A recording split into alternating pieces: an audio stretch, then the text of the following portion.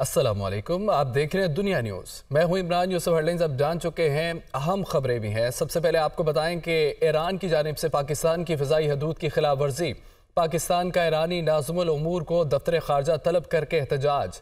Pakistan Iran की जानब से अपनी फ़जाई हदूद की बिला इश्तियाल खिलाफ वर्जी की शदीद मजम्मत करता है।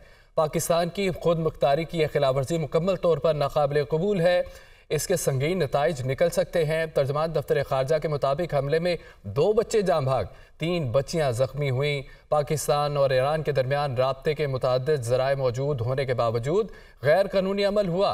पाकिस्तान की जानब से तहरान में ईरानी वजारत खारजा के दफ्तर में एहतजाज रिकॉर्ड करवा दिया जा चुका है।